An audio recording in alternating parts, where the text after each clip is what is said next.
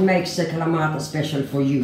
What what do you think about Kalamata average as place to live? I love Kalamata. You love Kalamata. Why? I don't go. Uh, it's the way of life, the easy way of life. Yeah.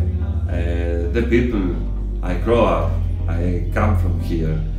Uh, I love the sea, I love the mountains, I love the way that you can be everywhere in five minutes, you have nightlife, uh, a lot, Everything. everything. Uh, Exactly. perfect.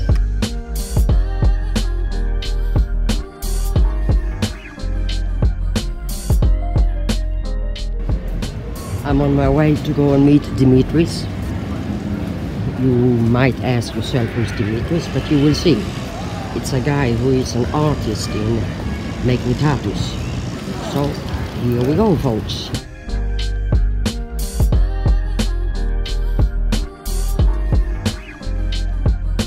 We are back here at Dimitri's place where he is making his job. Let me just show you a little bit here. It's completely art.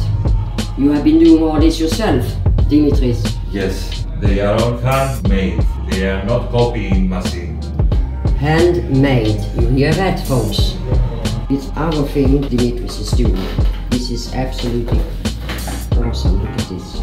My first touch with tattoo it was 1998, but uh, after that I went to the army and when I came back I was working as a bartender in Kalamata Okay? and the last five years I do that professionally. The tattoo has to be something from you, that it's going to be yours. You have it always. Yes. And it's all. That, that's the way I'm not full.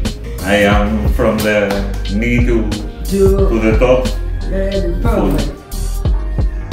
I know that you have a dog, Dimitri. Will you tell me a little bit about your dog?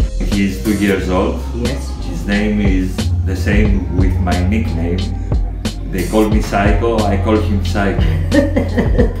Um, And what kind of dog